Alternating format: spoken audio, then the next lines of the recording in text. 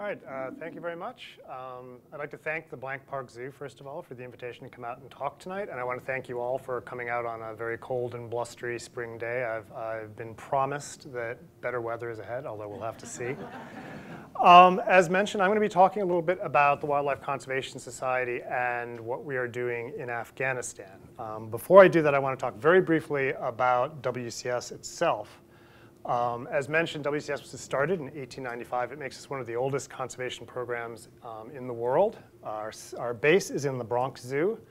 Um, but as mentioned, we actually work in, or we run four zoos and an aquarium in the metropolitan New York area. The organization, though, is actually split into two sides. There's the living institution side, which runs these zoos and aquarium, and then there's the global program, uh, which works in over 60 countries around the world with about 3,000 field staff overseas. So it's a really big organization. Um, you probably, you may not have heard of us, uh, partly because a lot of our work is focused on on-the-ground landscape work. We're a science-based organization. We have over 200 PhDs on staff. Um, we're focused on actually science-based conservation on the ground, not, not lobbying or trying to convince governments or, or media campaigns. It's really based on the ground science conservation work to try to improve wildlife situations and improve people's livelihoods at the same time. Uh, I'm going to be talking about Afghanistan, but before I do that, I need to start talking about Pakistan, and I consider this my, my bona fide slide. Um, one of those people you might recognize, uh, the New Balance sneakers might give me away.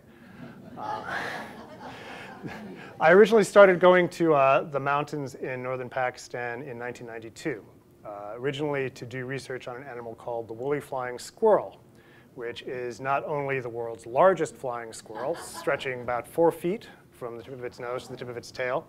Um, but it was also, it was discovered in 1888 and last seen in 1924. So at the time that I went over to Pakistan, it had been considered to be extinct for 70 years. Um, perhaps not the smartest thing to go looking for.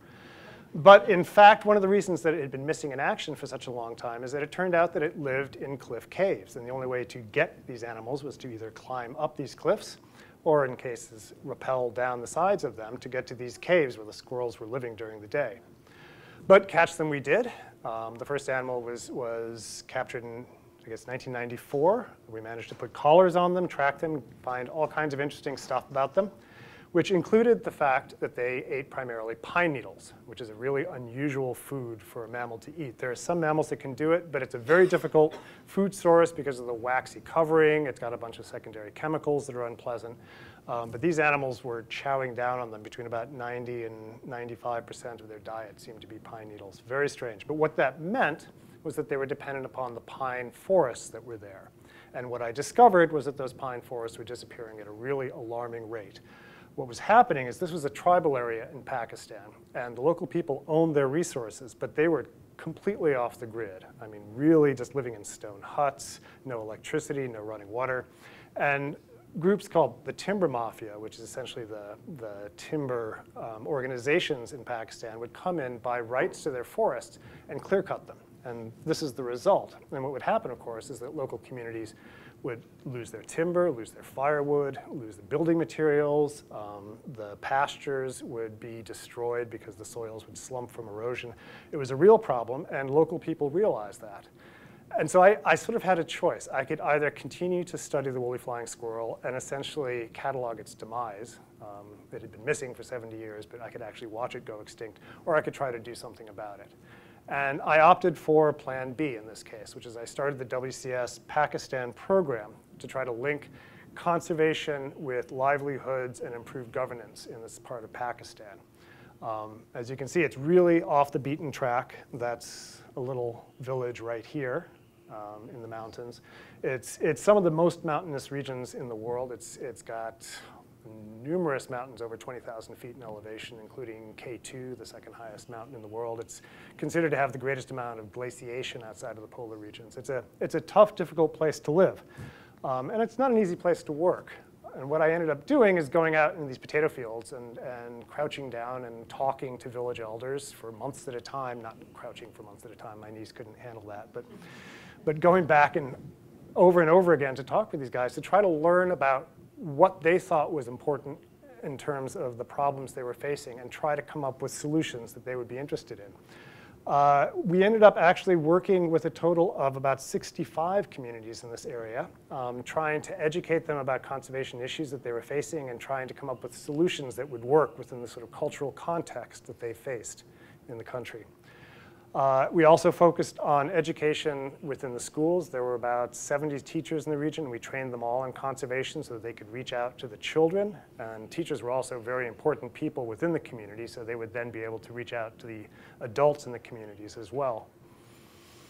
We worked in community governance. We actually helped create new governance structures with these communities. The old JIRGA method of, of governance wasn't really working when it came to dealing with these new environmental problems they were facing. So we created natural resource committees in each of these communities that was making decisions about natural resources, about the forests, and about the wildlife. Um, and we created 65 of them overall. Each of these community committees uh, had community rangers that were volunteers that we trained and deployed in this area to actually monitor wildlife and enforce the rules and regulations that were in the committee's bylaws. And eventually what we did is actually started to work with the government, the provincial government in this area, and the communities. So many of these communities had actually never had real contact or a platform to, to deal with the government. They, they were really isolated. They had, they had never lost to anybody before in terms of a war. So Pakistan really had no control over them, which is why it was a tribal area. Um, the British, when they were involved in Pakistan, had never beaten these guys. But they were actually finally working again with the government in a co-management structure for natural resources. So in 2002, um, I took a break from WCS and spent six months leading a program for the United Nations doing a post-conflict environmental assessment of Afghanistan. And while I was over there, I thought, you know what? The cultural context was very similar, and I bet the work that we're doing in Pakistan could be scaled up into Afghanistan. Um, and a few years later, I had an opportunity with funding from USAID to actually try to make this happen which was the WCS Afghanistan program. Now, I get asked, why do conservation in Afghanistan? A lot. Um, you know, it's a war-torn country. It's a humanitarian crisis. What's there to save anyway? And there are a couple of different ways you can answer that. One is that 80% of Afghans depend directly on the natural resource base for their survival. These people are farmers, they are herders, uh, if they don't have ways to feed their families, you cannot possibly have reconstruction and stability in a country like this, no matter what else you do. And, and trust me, um, after 25, 30 years of warfare, the environment has been very badly damaged. This is uh, an image from 1977, and then 25 years later of Badghis province in terms of the forest cover in, the, in that province. And as you can see, it's lost virtually all of its forest cover in that 25 years, not from bombs and gunfire, but from millions of displaced people moving across the countryside. Um, they've been separated from their, their original communities. They had no way of, of you know, finding a way to, to keep themselves warm in the winter, um, building shelters. It was just devastating to the countryside, very dramatic. But there's another reason why to do conservation in Afghanistan. And that relates to basically Afghanistan's location. It sits at essentially a crossroads. This is a picture of the original silk routes, of trading routes that between Europe and Asia. Uh, some of them went through Afghanistan, and part of the reason is that it does, it sits sort of in the middle of everything. You've got the Himalayas coming up here, and then eventually it turns into the, the Tian Shans and the Altais. So it's right at the sort of the corner of Asia in some ways. And so you end up having biological influences from Africa and the Middle East, from Southeast Asia, and of course from the north, as well as from the actual mountains itself. So what does that mean? Well, it means it sits at the biodiversity crossroads as well. This is a, a camera trap photo of a snow leopard that was taken in Afghanistan. But it's not just snow leopards that can be found there. You also can find Persian leopards, lynx, caracal, leopard cat, Pallas cat, jungle cat, wild cat, and sand cat. There are nine species of wild cats found in, Af in, Afghanistan. That is the same number of wild cat species as found in all of sub-Saharan Africa, all of the countries south of the Sahara Desert. Um, it's really a sort of an amazing country in many ways. And it's not just cats. You find what's called the mountain monarchs, Marco Polo sheep, the largest sheep in the world, with horns that actually can stretch six feet from tip to tip. um, enormous animals. Uh, the Himalayan ibex with beautiful back-swept horns that can climb cliffs just as easily as, well, easier than I can climb stairs, in fact. Um, the markhor, who's even better at climbing than, than the ibex, with its beautiful corkscrew horns. Um, you oftentimes find them in oak trees in the mountains. They're that kind of climbing ability. And the urial, which is sort of like a junior version of the Marco Polo sheep, a smaller sheep, but still beautiful in its own right. So doing conservation in Afghanistan is important because it, it's, it's working to try to preserve these iconic species that can be found there. It's also preserving unique cultures, the Wakhis, the Hazaras, um, the Kyrgyz populations, people who've been living there for hundreds, sometimes thousands of years, and preserving unique landscapes. Um, despite what you see on the, on the evening news, Afghanistan has some astonishing landscapes in this country. So how do you do conservation in Afghanistan? Well, you're faced with the usual problems. Um, you can see this is one of our teams moving across a, a, goat path through the mountains trying to get to our field site, um, crossing a swollen river high in the mountains, um, getting stuck in a river. Uh, you know, but these are the sorts of things that wildlife conservationists face whenever they go into the, the back country and have to deal with, with conservation issues. Afghanistan carries its own issues, though, which includes landmines and unexploded ordnance, and of course, a poor and unfortunately continuing to decline security situation. So one of the first things that we had to do when we worked in this country was create a real security standard for our, our program. So we have about 70 people that work in Afghanistan right now, Afghans and um, internationals. And I won't go into the, the whole list of, of all of the things we do, but I will say that it's, it's, it's impressive. Um, we have had one accident in Afghanistan, and it was a guy who fell over a box in the basement of our office um, and, and, hurt his knee. And that's been it in eight years. And you know, that knock on wood. But we are very, very careful in this country. So when we landed in Afghanistan in 2006, uh, it was the government had basically been operating for about three years, the new government. And so we, one of the first things that we really did was help them to actually draft the environmental laws. Um, in fact, the environmental law, as well as other laws such as the rangeland law, the forestry law, um, the protected areas regulations. And we didn't just draft them, but we also helped train government officials and staff on what to do, how to actually implement those laws. We took uh, government staff on international study tours. We took them to the United States. We took them to South Africa, in this case Indonesia, to show them sort of best practice conservation efforts in other countries so they would get a, get a good idea of what to do. Again, this country had been at war for 25 years, so they, had, they basically had lost 25 years of knowledge during that stretch. Um, so we were very active in trying to build their capacity back up during that time. But of course, we're very much a field-based organization. So we had a number of field sites, which included um, Bamiyan province, which is in central Afghanistan, um, up in sort of the southern Hindu Kush. Uh, what's called the Wakhan Valley, this long pencil of land here in the east. And we did some work as well in Nuristan until recently. So one of the first things we had to do was uh, wildlife and rangeland surveys. So again, with 25 years where nobody had been doing anything related to conservation of the environment, there was no information, no baseline from which to assess both the situation at the time as well as in the future trying to assess whether our efforts were making any kind of improvements. So we spent a lot of time and continue to go out and try to collect information about Afghanistan's wildlife and rangelands. In Nuristan, we've focused on community-based conservation, especially around the forests. This is a, a, beautiful forest of deodar cedar, and it really does look like that. It's a, it's a gorgeous landscape, uh, the parts that still have trees. Uh, working with local villagers to try to develop, again, the sort of things that we did in Pakistan, community uh, committees based on natural resource management, working with local schools, working with women. So we have a full-time gender specialist on our program. Obviously in Afghanistan, it's it's complicated, um, the gender situation in this country. It depends on where you work. In Nuristan especially, it's a, it's a very, very fundamentalist Sunni area, and, but we still were able to get women trained up in a number of issues because, of course, they're very important in terms of natural resource management in these communities. They, they do a lot outside with, with the farms, with forestry, so having them involved was critical. It took us a while, but it, it happened.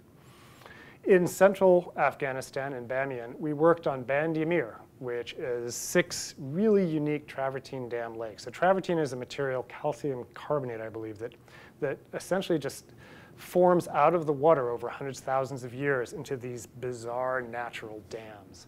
Um, these are actually, I don't know if you can see all that well, but these are actually people down here. So these, these dams are about 40, 45, 50 feet high. Um, and they hold these incredible basins of water, just crystal clear blue water um, in a maybe 10,000 foot high valley set in a beautiful gorge that's, and it's not as impressive as the Grand Canyon, but it's, it's pretty impressive. Uh, it's, it's an amazing place, what can I say? I, there's nothing like it else on earth. And after three years of work with local communities and the government, um, we were very excited that Afghanistan made Bandi Amir not only Afghanistan's first national park, but first ever official protected area. Um, it was an important event uh, for Afghanistan. Um, it was a, a, point of national pride that they managed to, to do this. Um, what you're seeing here, this is US Ambassador Eikenberry at the ribbon cutting ceremony with the Vice President of Afghanistan, um, Governor Sarabi, the only woman governor in the country, um, and the Prince of Afghanistan. So it got a lot of attention within Afghanistan. It got a lot of attention nationally. Um, a real point of pride for the country.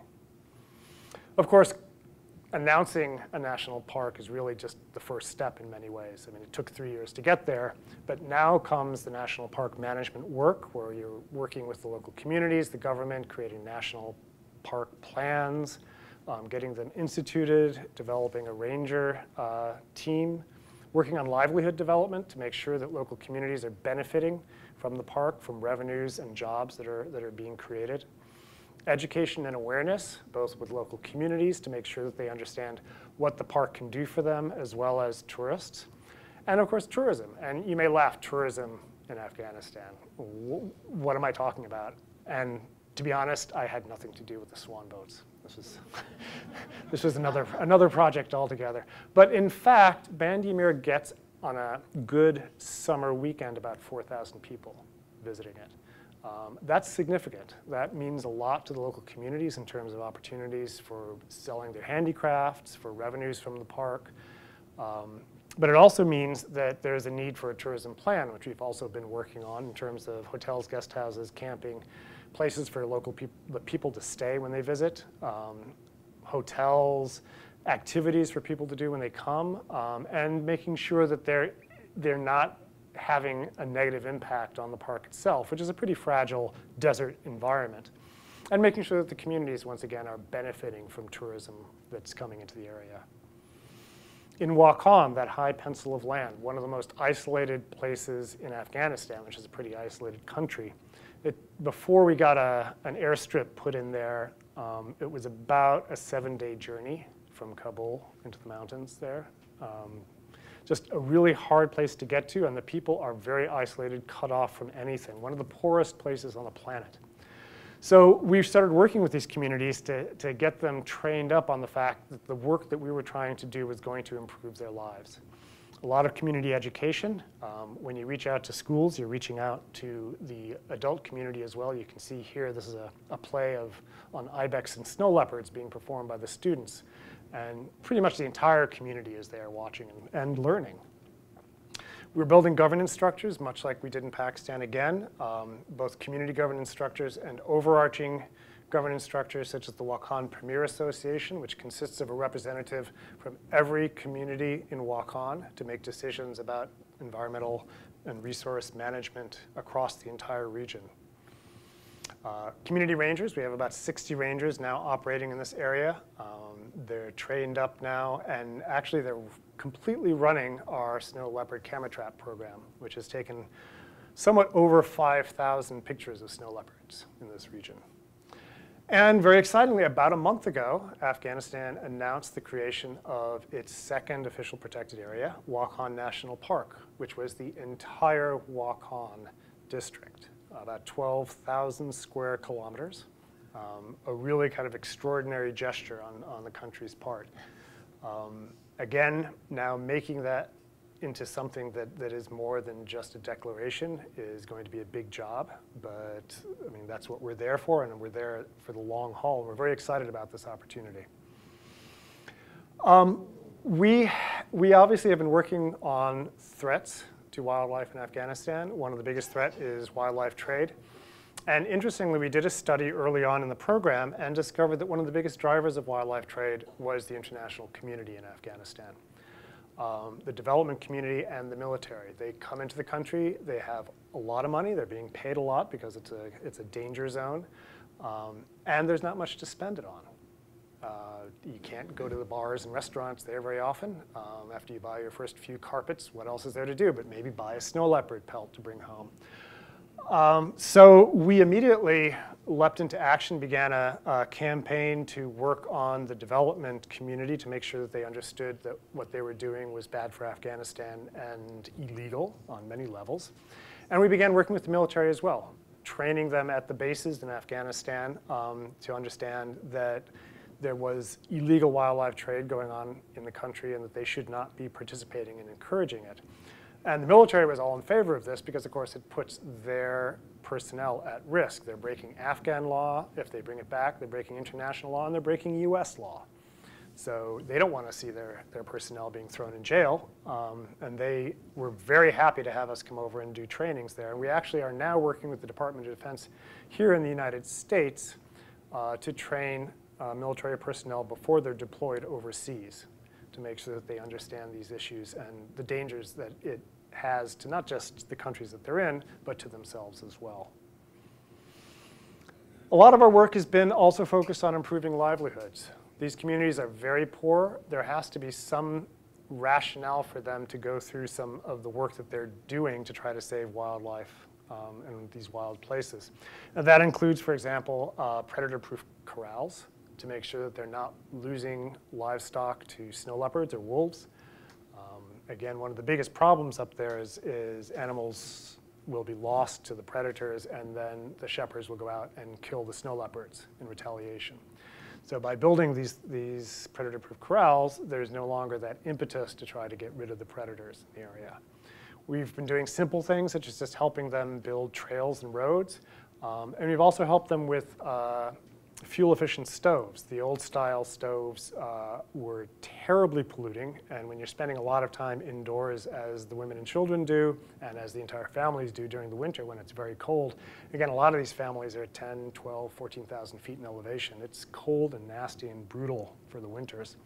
But these houses are just filled with smoke during that entire time. So it's an incredible health problem. Um, so fuel efficient stoves are very important, but it also prevents loss of shrubs in these high elevation uh, pastures, which of course the wildlife and the livestock are both dependent upon, especially in winter. So it has a very important conservation implication as well as a health implication. We actually do a lot of veterinary work in Afghanistan as well. Um, mass vaccination in the Pamirs to, to help local people with their, their livestock. Um, again, those vaccinations are tied into stocking rate decisions that these community committees are making in terms so we don't have too many animals, but you have healthy animals. You're not losing a lot of livestock, and therefore you're not forced to have more livestock on the pastures than can actually sort of be sustainable. We've been training local uh, people to be what's called paravets, essentially veterinarian help that go up into these mountains. Because again, these, there's, there's just no services available to these people. So we're providing the veterinary service that, that is actually getting up into these valleys and, and helping them. We've been doing projects such as avian influenza studies on water birds in the country and working with the Kabul Zoo in terms of training their staff on veterinary work. Finally, I want to talk about um, transboundary conservation.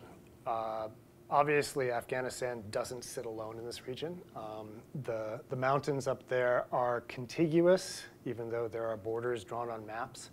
And many of the animals that live up there do not respect uh, country boundaries, no surprise. Um, Marco Polo sheep are moving across, snow leopards are moving across. We've, we have a number of snow leopards um, collared, and we're tracking them, and one of them actually traveled all the way from Wakhan into Tajikistan and back.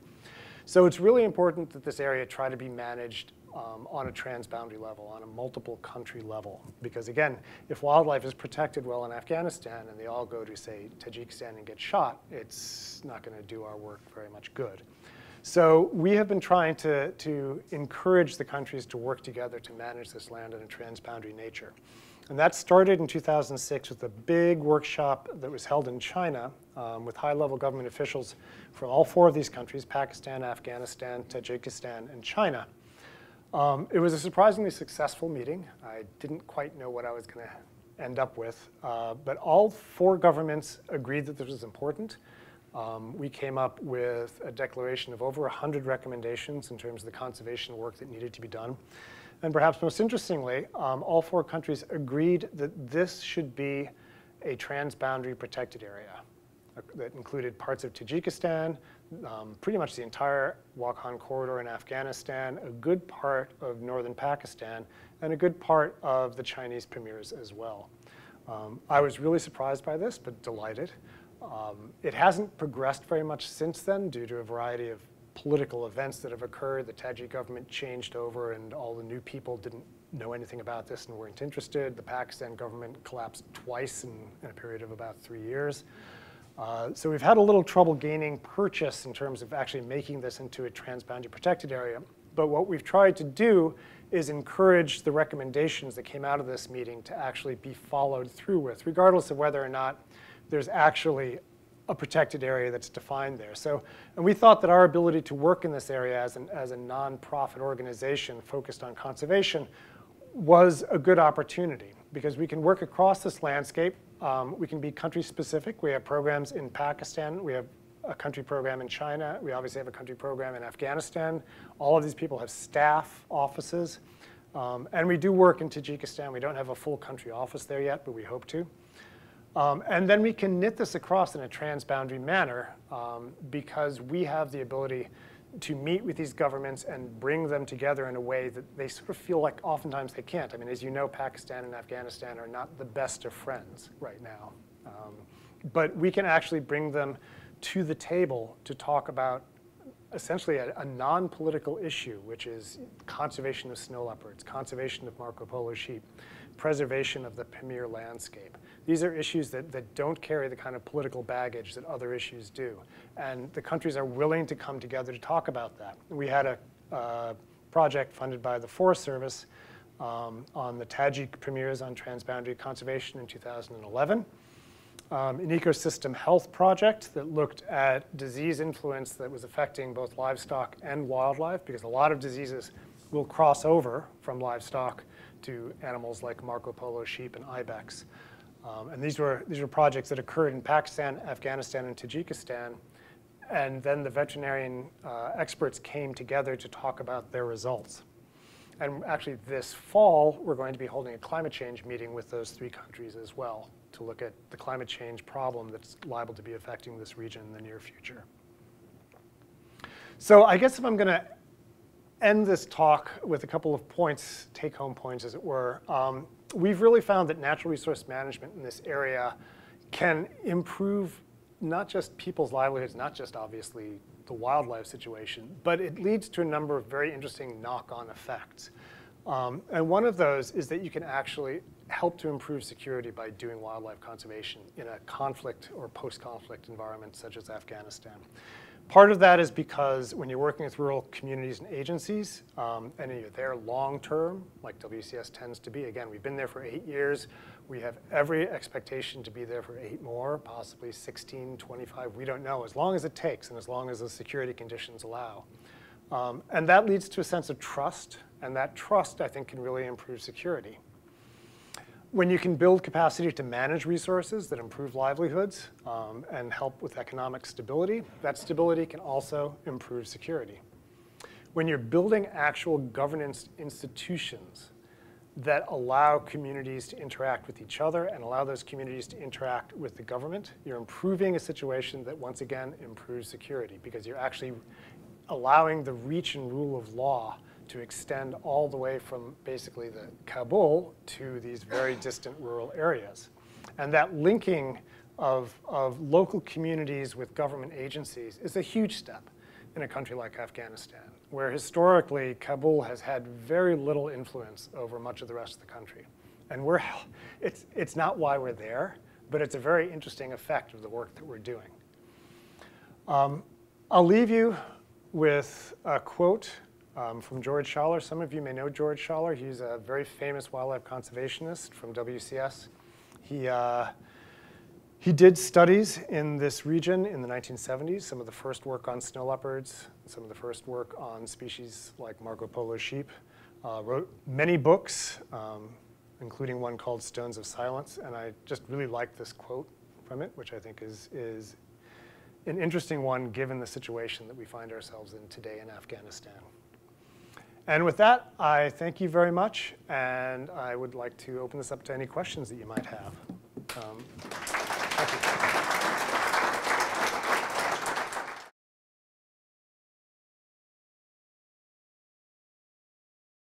there are jobs that women can do in Afghanistan. Um, there are places that make it very difficult for women to do their jobs there. Um, we've had a significant number of women actually on our staff. We have a number of women on our staff now. There are, there are parts of Afghanistan where it is difficult to be a woman in the field, um, especially if you're an Afghan. Yep. Um, it's, it's actually not much of a problem if you're an American. Uh, yep, or a Westerner in general. Um, but if you're an Afghan, there's, there's a, a strong sense of expectation about what your role should be. And that can be difficult. We've done a lot of training of women in Afghanistan, um, veterinarians and others.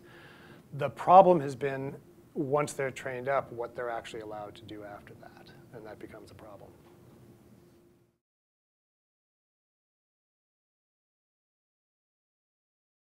Very good question. Um, historically, there has been an assumption that there's somewhere between one and 200 snow leopards in the country. Um, and that was primarily based on what is known about snow leopard densities in general, which is not much, um, and on what was assumed to be snow leopard habitat, available habitat in the country. So it was not based on any kind of surveys or knowledge about snow leopards in the country. What we found is that snow leopards seem to be doing very well. We don't have an actual count right now. Um, the work we're doing with our camera trap study, uh, we're now doing basically a, a capture recapture study that should actually give us a population estimate. Probably within about a year, we should actually have that data analyzed. Um, but we know that, I mean, we've taken 5,000 plus photographs of snow leopards at this point. Um, we have captured four of them. The first one we captured, we captured within the same night that we put out the snares, um, which I'd like to think is luck. It probably is.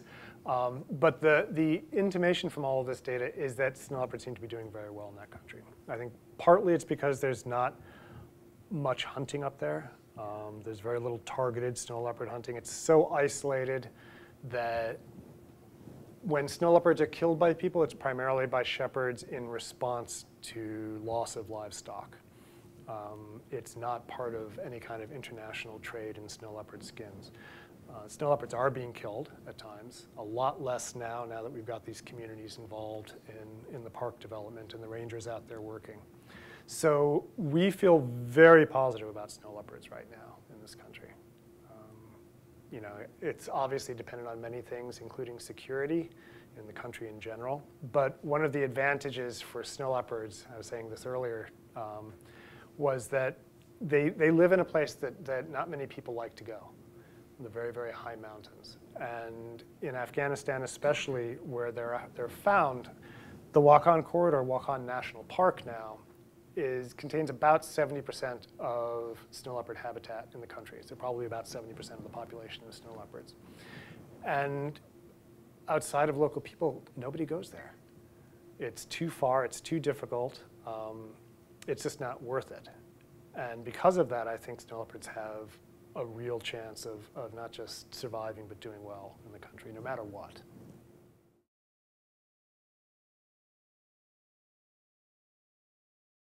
There, I, I don't have the data in my head at the moment. They seem to be sort of average, um, for want of a better term. I mean, snow leopard ranges can vary enormously. That was what we've, we've found. Um, in some places, they seem to be very localized. We've had animals, I mean, in Mongolia, especially where, where they will travel just enormous distances.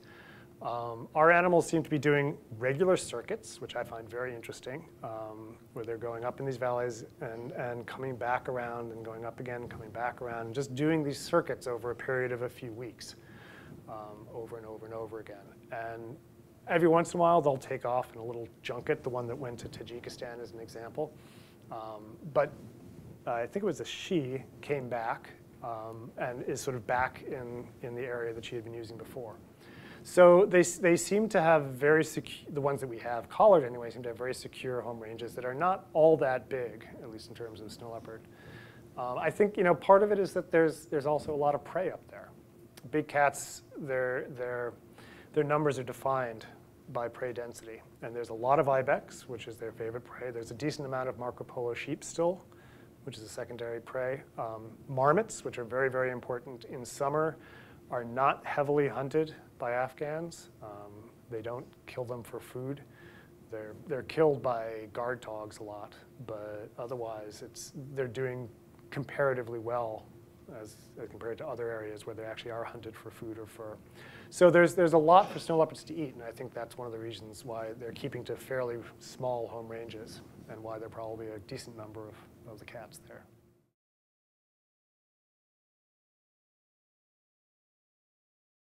For the most part, no, interestingly enough. I mean, if you look at where they're found, um, we have Persian, we've actually caught Persian leopards in camera traps in Bamiyan district, the central portion of the country. Um, but they're not found up in the high mountains. So they're, they're basically ecologically separated. Some of the smaller cats may come into, into competition, but again, they seem to separate out pretty nicely by, by habitat type. The, the jungle cat is usually found in, in tall grass or bushy areas, especially along rivers. Um, the leopard cat is in the forests in the east primarily. Lynx is found at high elevations as well. So in some ways, they're probably competing a little bit with snow leopards for medium-sized prey. They certainly will take smaller sheep and goats, um, as well as hares and other animals. So they seem to segregate out pretty nicely in the country, and only in some places are they liable to be competing.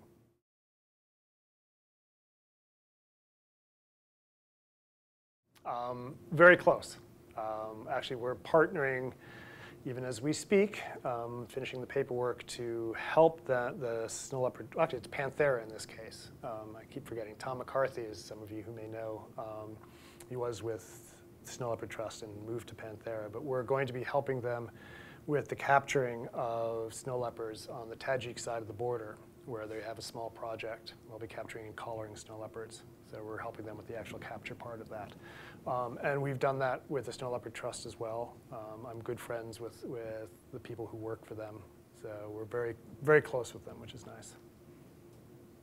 My wife's from Seattle as well, so, so I, I get to visit them a lot.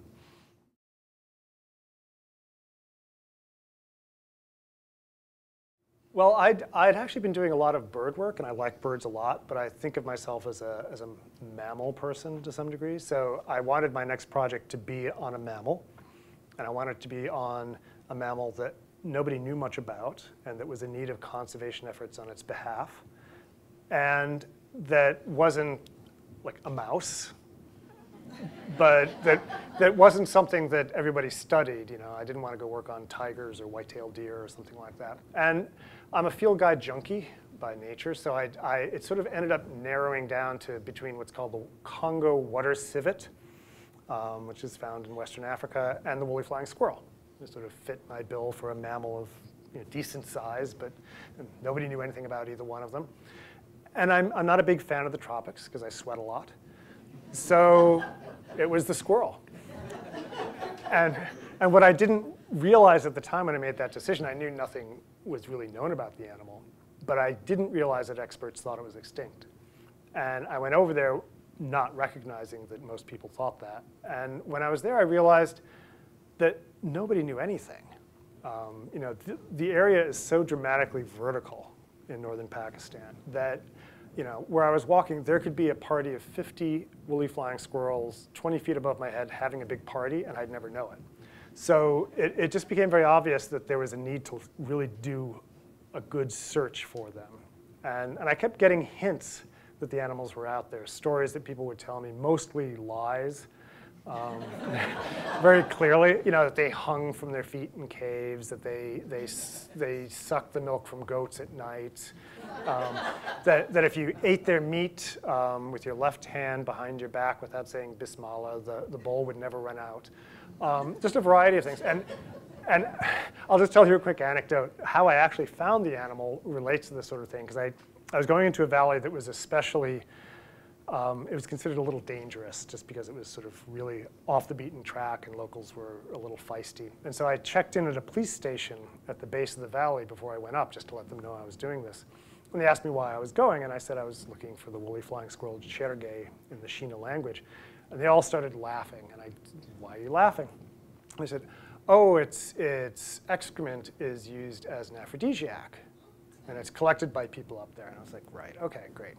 And I, I went up in the valley and I was, I was trapping with these big live traps and I was catching little baby red foxes and stone martens and all these things and no woolly flying squirrels. And one day, a very large and frightening looking man with a great big beard and a Kalashnikov rifle came out of the bush and said, I hear you are looking for a chergay. And I said, yes. He said, if I find one, will you give me $40? And I said, well, you got the gun, so yes. Um, and, and he said, give me that bag. So I gave him the bag because he had a gun. And he disappeared, and six hours later, he came back with a live woolly flying squirrel in the bag. And it turns out that this guy was a Saligite collector. Saligite is an indurated matrix of woolly flying squirrel urine and feces. And these guys climb up in these caves and collect it because these squirrels poop a lot, apparently. Um, and they mix it with almond and they make it into a paste and they sell it as an aphrodisiac. And, and you can buy it all over Pakistan, oddly enough. Uh, what can I say? But it turned out that that was the trick. I just had to find the Saligite collectors. I didn't have to find the squirrels. They would find the squirrels for me.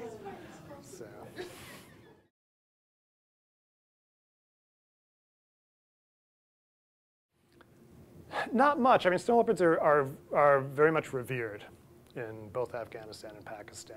Um, there are various stories. I, am not sure I know any that I can spin off the top of my head that I've heard about the animals. Um, stories where they have magic powers, that sort of thing. Um, and, and villagers have a great deal of respect for the cats. I mean, they, as, as, a, as a big cat, snow leopards aren't quite as, as dangerous as tigers. So there's, there's less of that kind of awe and fear, which is, I think is helpful for the snow leopard's sake. Um, I mean, there's stories of people who've gone into corrals where snow leopards have, have fallen in after trying to go after livestock, and they've actually beaten snow leopards to death with a stick. So, so they're not, they're not, I mean, they're big, scary animals. I would not get in a pen with one myself, but that the fact that they're not quite as dangerous as many of the other big cats, I think has really helped their cause. And local people don't have that fear that drives them to try to kill them, which I think is important.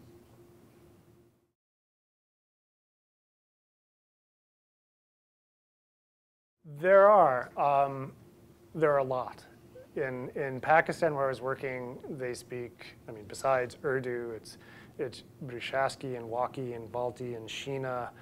Um, I mean, I took six and a half years of French, and all I know is Je m'appelle Pierre. I'm just, I'm bad with language. So, uh, and I, and I think that was actually helpful for this work because I used translators. And, and that saved me from making faux pas. And, and you don't want to make faux pas in many of these areas. It's just, it's, you, you want to say the right thing in the right way. That's very important. And I think my translators, since I'm still standing here, were very good at, at taking what I was saying and making it culturally appropriate.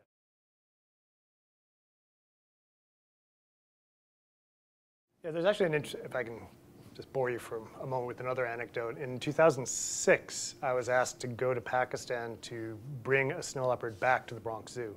Um, a small cub had been found by local people, and they had raised it to the point where it was big and causing some trouble. And they didn't have uh, a zoo that was capable of handling snow leopards. The zoos in Pakistan are all in the south where it's very hot. And so they basically, the Pakistan government contacted the State Department, the US State Department, and said, do you have a place that could handle a snow leopard? They contacted the Bronx Zoo, and of course they called me up and said, go get the snow leopard. So I went over there with, with some of our zoo folks, brought it back. It got a lot of press because I think it was an interesting example of, again, how wildlife conservation can, can bring countries together. As you know, the US and Pakistan are not the greatest of friends either. But here was an opportunity where, where the snow leopard, whose name is Leo, um, just because as, as a cub, apparently they go, Leo, Leo.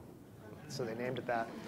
Uh, you know, it was an, it's, it's serving as an ambassador for Pakistan now in the Bronx Zoo. You know, it gets seen by millions of, of visitors every year. And we have a plaque about the whole story. It got a lot of press at the time. Leo actually just had a, a cub last year, his first. He was, he was dating for a number of years.